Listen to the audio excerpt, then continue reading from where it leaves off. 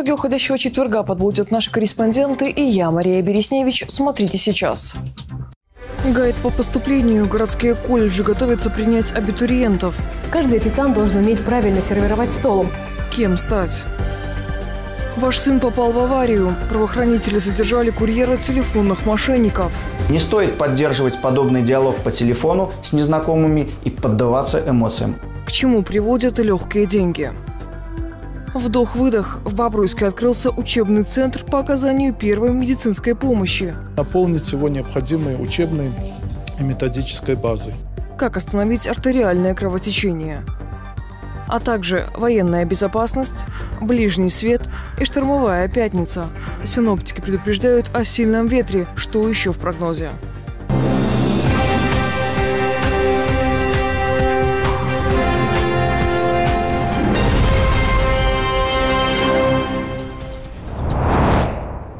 Пока без горячей войны президент провел совещание по вопросам обеспечения военной безопасности.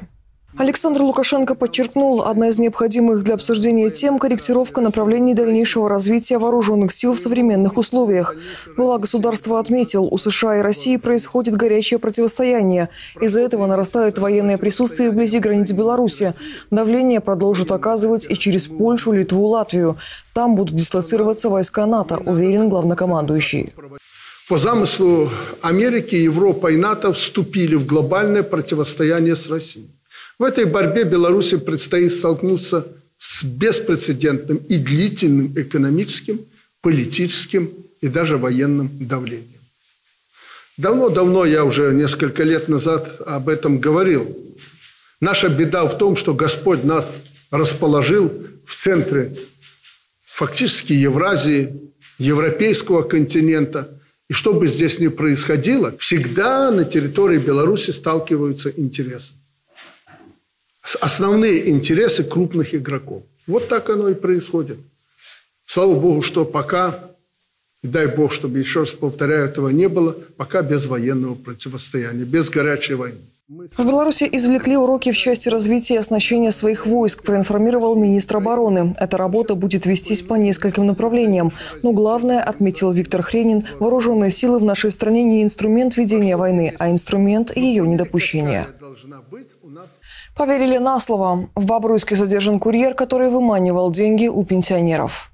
Им оказался 27-летний житель Гомеля. Объявление о подработке он обнаружил в одном из телеграм-каналов. Там обещали высокий заработок. За один день мужчина посетил несколько адресов. Забрал у пожилых 12 тысяч долларов и 3 тысячи белорусских рублей. Сотрудники правоохранительных органов никогда не звонят гражданам с требованием передать какие-либо деньги. Не стоит поддерживать подобный диалог по телефону с незнакомыми и поддаваться эмоциям. Будьте бдительны и благоразумны. Пожилым, как правило, звонят на стационарные и сообщают, что их родственник попал в аварию. Помочь в вопросе лжеправоохранители предлагают за деньги. За неполные два месяца в стране заведено более 200 уголовных дел. Задержано порядка 70 аферистов. Жуликам пенсионеры уже отдали более 3 миллионов рублей. Украинские медики, безопасный отдых и летний тариф. В Беларуси с июня вводятся новые цены на отопление, подогрев воды, газ и электричество. Громкие заголовки дня далее в специальном обзоре. Минздрав упростил прием на работу украинских медиков. Врачи, медсестры и провизоры смогут найти вакансию по специальности, даже если с документами есть проблемы. На руках достаточно иметь диплом об окончании профильного вуза. Не будет препятствием и отсутствие трудовой книжки. В Беларуси вводятся новые цены на отопление, подогрев воды, газ и электричество. Кроме того, с 1 июня отменяется разделение на так называемые летние и зимние тарифы. Для тех, у кого дома стоят газовые котлы, нововведение позволит потребителям не отслеживать даты начала окончания отопительного периода.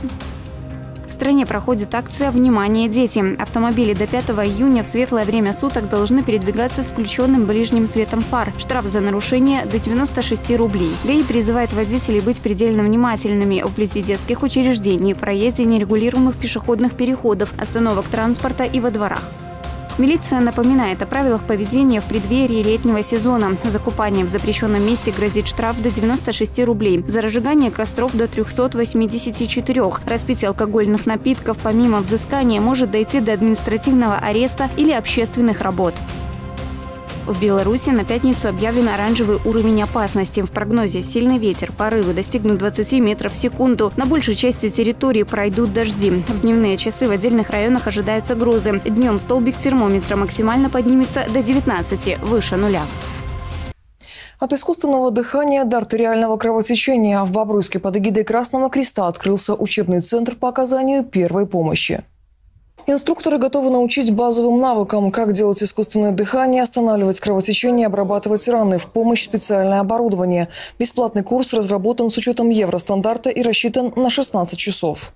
Благодаря вот э, общим усилиям и Красного Креста, и органов исполнительной власти, и наших уважаемых спонсоров, э, у нас появилась возможность получить вот это вот прекрасное помещение, сделать необходимый ремонт, ну и наполнить его необходимой учебной и методической базой. Мы проводим обучение и в школе, в трудовых коллективах. Очень много предприятий, организаций, которые приглашают нас, и это были выездные обучения.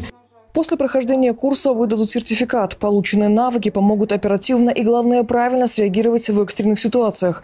Записаться в центр можно по телефонам, которые вы видите на экране, или же обратиться по адресу Орджоникидзе 54.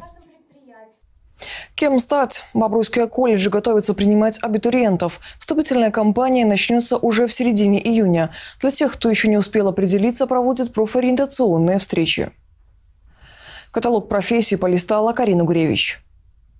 Летчик, врач, балерина или кинозвезда. Каждый ребенок хоть раз представлял, кем хочет стать, когда вырастет. Но когда наступает взрослая жизнь, все оказывается не так-то просто. К счастью, бобруйские колледжи решили проблему. Торгово-экономически прямо на мастер-классе помогает абитуриентам погрузиться в профессию и сделать свой выбор осознанно. Каждый официант должен уметь правильно сервировать стол. Сначала выставляют тарелки. Вилки слева, ножи справа. Между приборами обязательно полсантиметра. Затем фужеры, бокалы. И лишь в самом конце конце салфетка.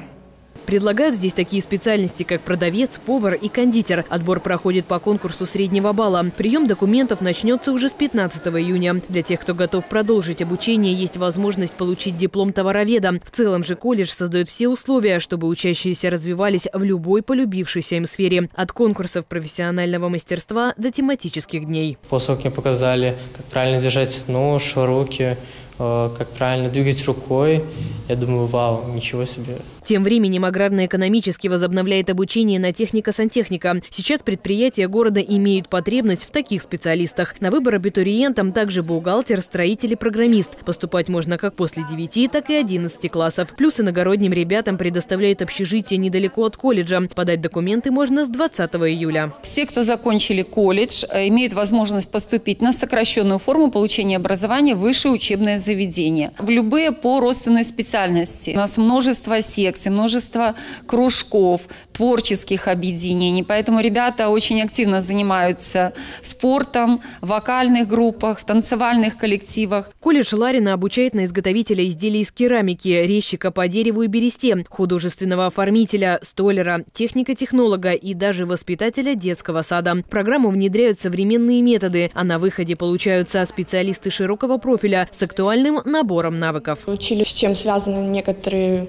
реакции детей, которые ну, вот раньше не были понятны. После того, как прошел курс психологии, это уже э, оправдано. То есть мы понимаем, чем это вызвано, как с этим работать и какие меры предпринять для того, чтобы этого не происходило. До конца учебного года остаются считанные дни. Уже 30 мая прозвенит последний звонок. «Прощай, школа», скажут почти тысячи одиннадцатиклассников города. Торжество начнется в 14 часов на площади Победы. Ребят поздравят творческие коллективы. После традиционная праздничная колонна прошествует до площади Ленина. А уже 10 июня по всей стране пройдут выпускные вечера. 150 тысяч мальчиков и девочек встретят свой самый важный рассвет. Карина Гуревич, Станислав Чечерин, Бобруйск, 360.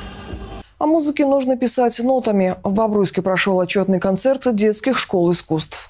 На сцене творческие коллективы, солисты и стипендиаты специального фонда президента по поддержке талантливой молодежи. Ребята представили на суд зрителя 44 номера в нескольких блоках. Народные, военные, классические и музыка на все времена. Это событие очень важное для наших школ, поскольку э, все учащиеся имеют возможность выйти на эту прекрасную сцену и подарить свое творчество родителям и зрителям города Бобруйска. Целый год школы трудятся а, приобретая какие-то навыки, умения, развиваются наши ребята. И вот это своего рода такой творческий отчет, который может вот это все саккумулировать. Больше полутысячи ребят в этот день покорили зрителям, в том числе и изобразительным творчеством. В целом же детские школы искусства занимают важную нишу воспитания талантливых бобручан и становления личности будущих звезд. Это все из событий к этой минуте. Смотрите нас в интернете и соцсетях. Мы в эфире каждый будний вечер. Счастливо.